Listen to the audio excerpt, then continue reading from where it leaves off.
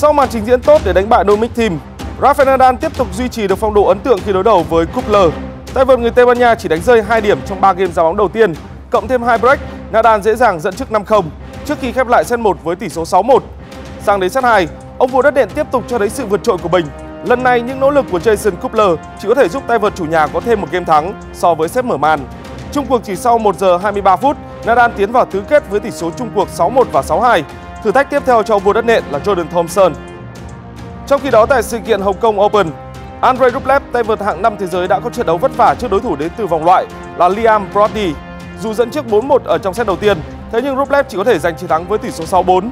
Thậm chí có thời điểm tay vợt người Nga phải cứu set point trong loạt tie-break của set 2.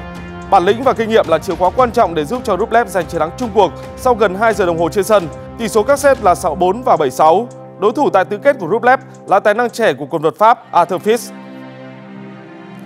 Ngoài những thông tin cập nhật về các sự kiện khởi động cho mở rộng, thì trong ngày hôm qua, Raducanu dù bị loại khỏi vòng 2 của sự kiện Auckland, thế nhưng tay vợt nữ của Vương quốc Anh vẫn sẽ có mặt ở vòng chính của mở rộng năm nay thay vì phải thi đấu từ vòng loại.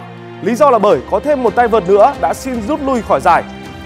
Cũng liên quan đến giải Úc mở rộng thì vẫn như hàng năm, giải đấu sẽ tổ chức các trận đấu từ thiện trong tuần lễ khai mạc của giải.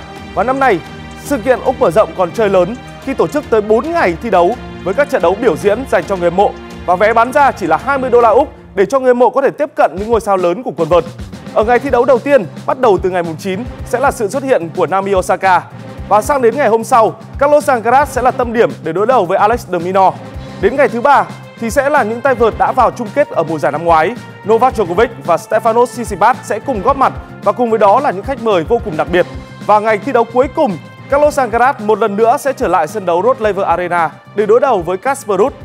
Và đó là những thông tin cập nhật về giải Úc mở rộng. Giải đấu sẽ bắt đầu khởi tranh từ ngày 14 tháng 1